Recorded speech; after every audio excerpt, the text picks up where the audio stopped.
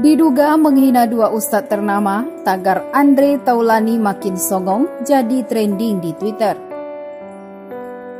Belum selesai kasus istrinya yang diduga telah menghina salah satu capres, kini giliran Andre Taulani yang sekarang diduga telah menghina dua ustadz ternama di tanah air, yaitu Ustadz Adi Hidayat dan Ustadz Abdul Somad. Penghinaan yang dilakukan oleh Andre Taulani berawal saat ia bersama Sule yang sedang memandu sebuah acara penayangan perihal sepatu kepada bintang tamu yang hadir di acara tersebut.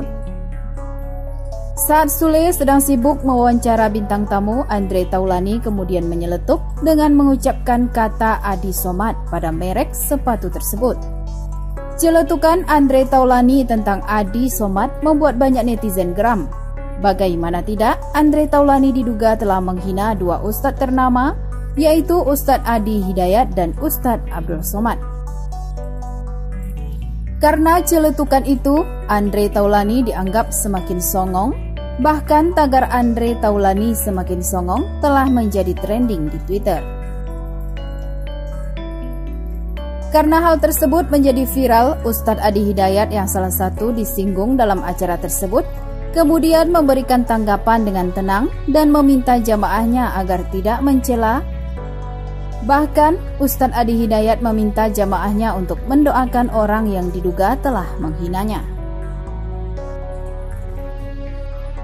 Di jalan tadi saya menerima ada orang yang mengubah kata-kata dari merek sepatu jadi Adi Somad dan macam-macam. Saya nggak peduli, ya biarin aja, nggak apa-apa. Jangan dibalas dengan celaan lagi. Pinta Ustadz Adi Hidayat yang dikutip dari laman Makassar Tribunis.com. Sudah tak usah dibalas, tidak usah dibalas, kita doakan dengan yang baik. Lanjut Ustadz Adi Hidayat yang dikutip dari laman yang sama.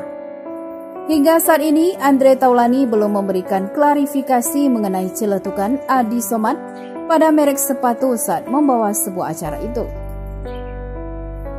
Bagaimana pendapat Anda?